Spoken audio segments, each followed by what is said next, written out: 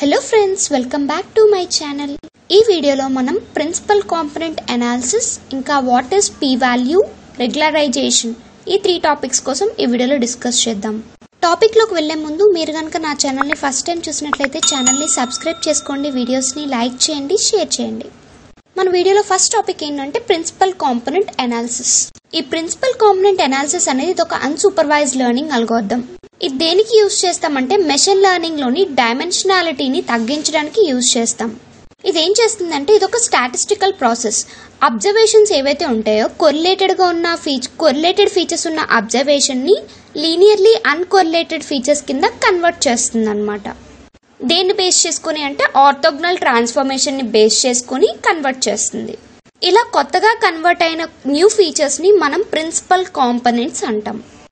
ఇది చాలా పాపులర్గా యూజ్ చేసిన టూల్ దేనికోసం అంటే డేటాని ఎక్స్ప్లోరేట్ చేసే డేటా అనాలిసిస్ని ఎక్స్ప్లోరేట్ చేయడానికి అండ్ అవుట్పుట్ని మనకు అనుకున్న మోడల్ ప్రకారం అవుట్పుట్ని ప్రిడిక్ట్ చేయడానికి యూజ్ అవుతుంది. ఈ టెక్నిక్ ఏంటి అంటే మనకి ఏదైతే డేటా సెట్ ఇచ్చిన డేటా సెట్ ఏదైతే ఉందో ఆ డేటా సెట్కి స్ట్రాంగ్ ప్యాటర్న్స్ని డ్రా చేస్తాం. ఏ విధంగా అంటే మనకి లైన్స్ అనేవి డేటా సెట్ని రెడ్యూస్ చేస్తున్నాం కదా డైమెన్షనాలిటీ తగ్గిస్తున్నాం అంటే ఆ డేటా సెట్ యొక్క సైజ్ని తగ్గించి మనకి అనుకున్న ప్యాటర్న్స్ లాగా తగ్గించి దాని ప్యాటర్న్స్ని డ్రా చేస్తుంది. ఈ ప్రిన్సిపల్ కాంపనెంట్ ఎనాలిసిస్ అనేది మెయిన్లీ ఏం చేస్తుందంటే మనకి తక్కువ డైమెన్షనల్ సర్ఫేస్ మీద హై డైమెన్షనల్ డేటాను ప్రొజెక్ట్ చేస్తుంది అనమాట ఈ పీసీఏ అనేది ఎలా వర్క్ అవుతుంది అంటే మనకి మనకి అట్రిబ్యూట్స్కి ఒక్కొక్క వేరియన్స్ అనేది ఉంటుంది. సో ఒకవేళ హై అట్రిబ్యూట్స్ ఉన్నాయనుకోండి దాన్ని ఏంటి అంటే స్ప్లిట్ చేస్తాం అనమాట కొన్ని క్లాసెస్ కింద స్ప్లిట్ చేస్తాం. సో అలా స్ప్లిట్ చేయడం బట్టి మనకి డైమెన్షనాలిటీ అనేది తగ్గుతుంది. ఈ ప్రిన్సిపల్ కాంపనెంట్ అనాలిసిస్కి మనకి రియల్ వరల్డ్ అప్లికేషన్స్ ఏమున్నాయి అంటే image processing movie recommendation system optimizing the power allocation in various communication channels చాలా కమ్యూనికేషన్ ఛానల్స్ ఉంటాయి కదా ఆ ఛానల్స్ మధ్య పవర్ ఎలొకేషన్లో కూడా మనకి యూజ్ అవుతుంది ప్రిన్సిపల్ కాంపనెంట్ అనాలిసిస్ అనేది.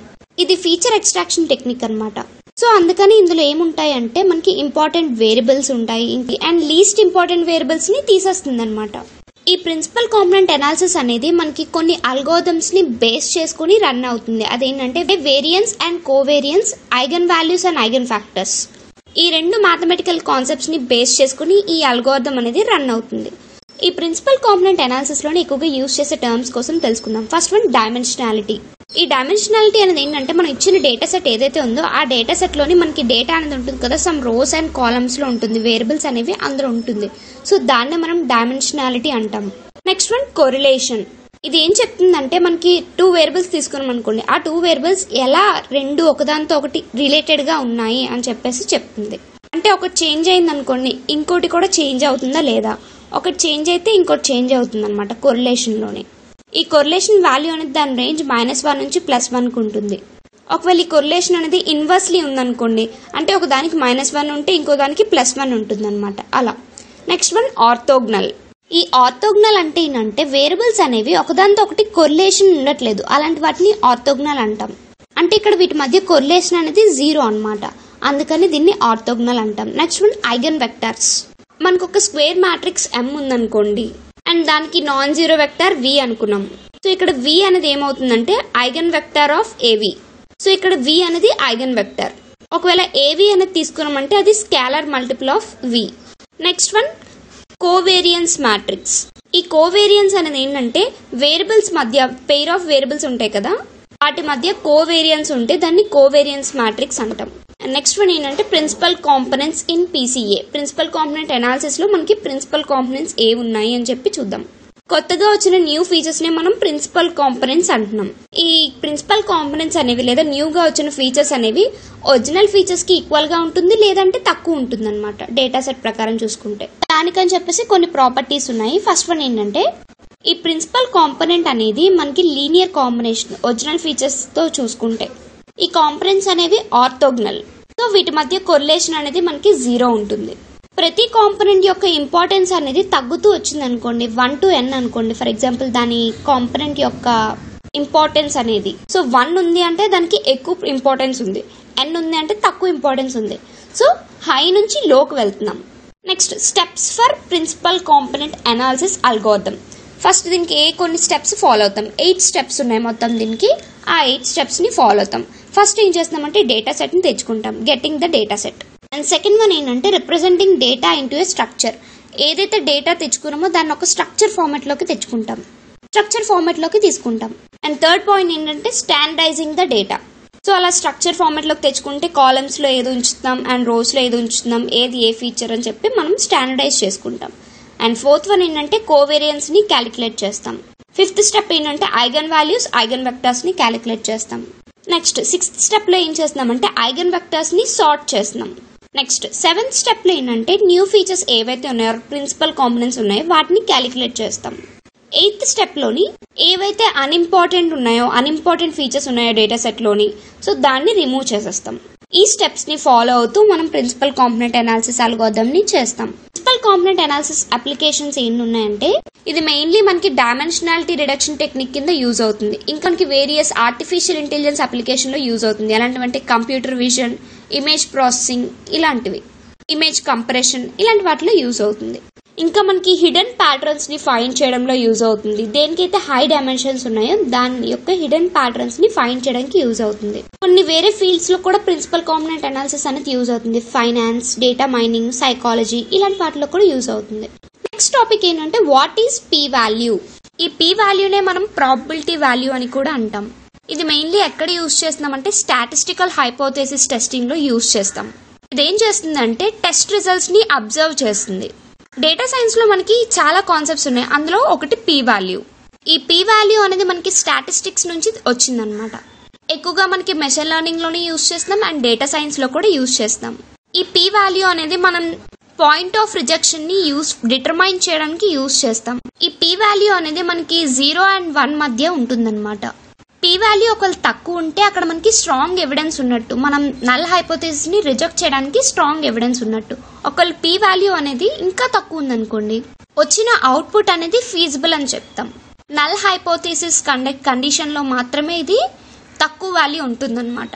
పీ వాల్యూ చాలా తక్కువ ఉంటే అది నల్ హైపోథెసిస్ కండిషన్ అనమాట P value zero point zero five ఉంటే అది level of significance zero point zero five కన్నా ఎక్కువ ఉందనుకోండి సో అప్పుడు మనం నల్ హైపోథెసిస్ని యాక్సెప్ట్ చేయాలి అని అర్థం. అదే P value zero point zero five కన్నా తక్కువ ఉందంటే నల్ హైపోథెసిస్ని రిజెక్ట్ చేయాలని అర్థం. స్టాటిస్టిక్స్లో మన మెయిన్ గోల్ ఏంటి అంటే స్టాటిస్టికల్ సిగ్నిఫికెన్స్ మన రిజల్ట్ యొక్క స్టాటిస్టికల్ సిగ్నిఫికెన్స్ ఈ స్టాటిస్టికల్ సిగ్నిఫికెన్స్ అనేది మెయిన్లీ మనకి త్రీ కాన్సెప్ట్స్ని బేస్ చేసుకుని ఉంటుంది. ఒకటి hypothesis testing and second one normal distribution and third one statistical significance so ఒక్కొక్క దానికోసం చూద్దాం. హైపోథెసిస్ టెస్టింగ్ ఈ హైపోథెసిస్ టెస్టింగ్ అనేది మెయిన్లీ మనకి టూ కాన్సెప్ట్స్ మీదే ఉంటుంది. నల్ హైపోథెసిస్ ఆల్టర్నేటివ్ హైపోథెసిస్ ఇక్కడ నల్ హైపోథెసిస్ అనేది ఎప్పుడు ఎప్పుడు అంటామంటే దీనికి స్టాటిస్టికల్ సిగ్నిఫికెన్స్ అనేది వేరియబుల్స్ మధ్య స్టాటిస్టికల్ సిగ్నిఫికెన్స్ అనేది లేకపోతే దాన్ని నల్ హైపోథెసిస్ అంటాం. అదే ఆల్టర్నేటివ్ హైపోథెసిస్ ఏంటంటే రెండు వేరియబుల్స్ మధ్య స్టాటిస్టికల్ సిగ్నిఫికెన్స్ అనేది ఉంటే దాన్ని ఆల్టర్నేటివ్ హైపోథెసిస్ అంటాం. అసలు సిగ్నిఫికెంట్ రిలేషన్షిప్పే లేదనుకోండి సో అవి ఒకదాని మీద ఒకటి ఇంట్రాక్ట్ అవ్ ఐ మీన్ ఒకదానితో ఒకటి రిలేట్ అయ్యి ఉండవన్నమాట. ఒక వేరియబుల్ వచ్చిన చేసి ఇంకో వేరియబుల్ మీద ఎఫెక్ట్ అవ్వదు. ఈ హైపోథెసిస్ టెస్టింగ్కి కొన్ని స్టెప్స్ ఉన్నాయి. అవి ఏంటంటే first one claim or state a null hypothesis for the experiment. So ఎక్స్పెరిమెంట్కి first మనం ఏం చేస్తున్నామంటే నల్ హైపోథెసిస్ని తీసుకుంటాం. అండ్ నెక్స్ట్ ఏం చేస్తున్నామంటే ఆల్టర్నేటివ్ హైపోథెసిస్ని తీసుకుంటాం. అది దేనికంటే నల్ హైపోథెసిస్కి ఆపోజిట్గా. అండ్ థర్డ్ పాయింట్ ఏంటంటే ఆల్ఫా వాల్యూని సెట్ చేసుకుంటాం మన ఎక్స్పెరిమెంట్లో యూస్ యూజ్ చేయడానికి. అండ్ ఫోర్త్ పాయింట్ ఏంటంటే జెట్ స్కోర్ నార్మల్ నార్మల్ డిస్ట్రిబ్యూషన్ని డిటర్మైన్ చేస్తాం. అండ్ ఫిఫ్త్ వన్ పీ వాల్యూతో కంపేర్ చేసి వ్యాలిడేట్ చేస్తాం. ఈ స్టెప్స్ని ఫాలో అవుతాం. And next one normal distribution ఈ నార్మల్ డిస్ట్రిబ్యూషన్ మనం గాషియన్ డిస్ట్రిబ్యూషన్ అని కూడా అంటాం. ఇది ప్రాబిలిటీ డిస్ట్రిబ్యూషన్ ఫంక్షన్ అనమాట ఇక్కడ డేటా అనేది దే- ఏదైతే మీన్కి దగ్గరగా ఉంటుందో అది మనం చాలా ఫ్రీక్వెంట్గా యూజ్ చేసిన డేటా అన్నమాట. వేరే డేటాతో పోల్చుకుంటే. ఇక్కడ మనకి ఎలా కనిపిస్తుంది అంటే బెల్ షేప్డ్ కర్వ్ అనేది వస్తుంది నార్మల్ డిస్ట్రిబ్యూషన్లో. ఇందులో మనకి మెయిన్లీ టూ టర్మ్స్ గుర్తుపెట్టుకోవాలి. మీన్ ఒకటి స్టాండర్డ్ డివియేషన్ ఒకటి. నార్మల్ డిస్ట్రిబ్యూషన్కి మీన్ ఎప్పుడు జీరో ఉంటుంది స్టాండర్డ్ డివియేషన్ ఎప్పుడు వన్ ఉంటుంది. And next one statistical significance ఈ స్టాటిస్టికల్ సిగ్నిఫికెన్స్ మనం ఫైండ్ చేయాలంటే ఖచ్చితంగా మనం హైపోథెసిస్ టెస్ట్ అనేది చేయాలి. సో దానికి హైపోథెసిస్ టెస్ట్ చేశాక పీ వాల్యూ అనేది జనరేట్ అవుతుంది కదా ఆ పీ వాల్యూని బేస్ చేసుకొని చేస్తున్నాం. సో ఆల్ఫా కింద సెట్ చేసుకుంటాం వచ్చిన థ్రెషోల్డ్ వాల్యూ ఏదైతే ఉందో. ఎక్స్పెరిమెంట్కి ముందే మనం ఆల్ఫా వాల్యూని సెట్ చేసుకోవాలి.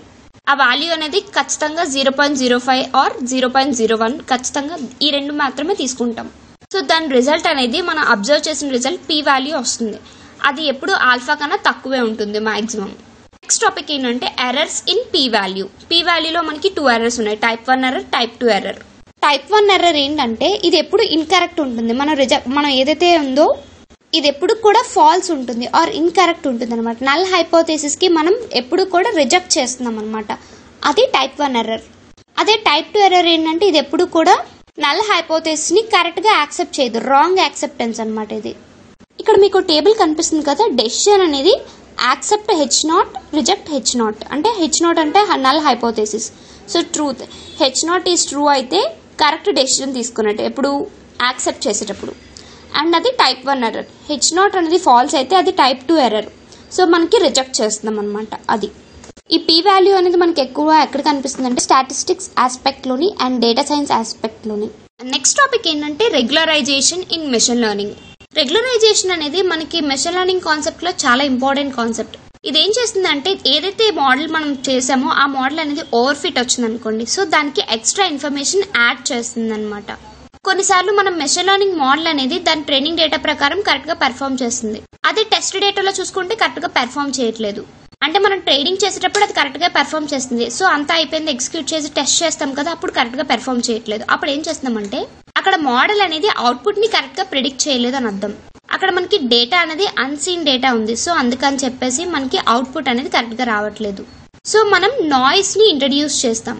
అవుట్పుట్లోకి అప్పుడు ఏమవుతుంది మోడల్ అనేది ఓవర్ ఫిట్ అయిపోతుంది. సో ఈ ప్రాబ్లమ్ని రెక్టిఫై చేయడానికి మనం రెగ్యులరైజేషన్ని యూజ్ చేస్తున్నాం. ఇదేం చేస్తుందంటే ఇచ్చిన డేటా ఏదైతే ఉందో ఆ డేటా సెట్ ఏదైతే ఉందో ఆ వేరియబుల్స్ యొక్క మాగ్నిట్యూడ్ని తగ్గిస్తుంది రెడ్యూస్ చేస్తుంది. సో దాన్ని బట్టి యాక్యురసీ అనేది పెరుగుతుంది. ఇంకా సింపుల్ వర్డ్స్లో చెప్పాలంటే ఈ రెగ్యులరైజేషన్ టెక్నిక్లోని మనం మాగ్నిట్యూడ్ ఈ రెగ్యులరైజేషన్ టెక్నిక్లోని ఫీచర్స్ యొక్క మాగ్నిట్యూడ్ని తగ్గించి సేమ్ నెంబర్ ఆఫ్ ఫీచర్స్ని ఉంచుతున్నాం. ఈ రెగ్యులరైజేషన్ అనేది ఎలా వర్క్ అవుతుంది అంటే ఏదైతే మోడల్ ఉందో ఆ మోడల్కి కొంత పెనాల్టీ లేదా కాంప్లెక్సిటీని యాడ్ చేస్తున్నాం అనమాట ఇది మీకు అర్థం అవ్వాలంటే ఒక చిన్న ఈక్వేషన్ చూద్దాం. ఇది ఒక linear equation Y equals to beta naught beta one X one plus beta two X two plus beta three X three ఇలా సో ఆన్ ఉంది.